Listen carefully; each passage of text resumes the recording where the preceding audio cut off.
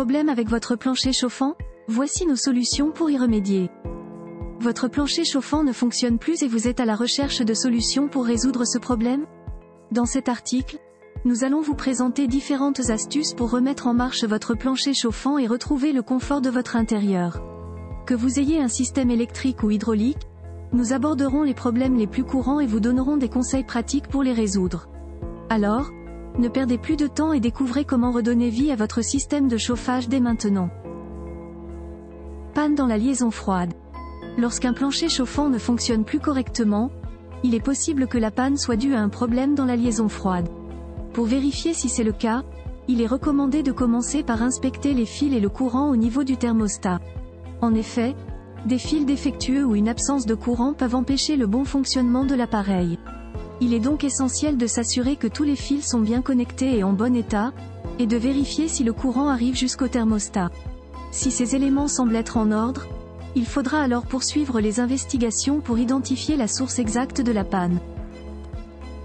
Remplacement des fils défectueux. Lorsque des fils électriques sont défectueux, cela peut entraîner une réduction de la diffusion de la chaleur au sol. Cela peut donc avoir un impact sur le bon fonctionnement de l'appareil et empêcher une distribution uniforme de la chaleur dans la pièce. Heureusement, il est possible de remplacer les fils abîmés soi-même ou de faire appel à un électricien professionnel pour effectuer cette tâche. Si vous décidez de le faire vous-même, assurez-vous d'avoir les compétences nécessaires et de suivre les consignes de sécurité appropriées. Sinon, il est recommandé de contacter un électricien qualifié qui pourra diagnostiquer et résoudre le problème de manière efficace et sécurisée. Importance de l'entretien régulier. Pour assurer le bon fonctionnement du plancher chauffant, il est essentiel de procéder à un entretien régulier. Un contrôle annuel permet de détecter d'éventuelles défaillances et de garantir que le système est prêt à être utilisé. Lors de cet entretien, il est recommandé de vérifier l'état des tuyaux, des vannes et des thermostats, ainsi que de nettoyer les filtres et les conduits si nécessaire.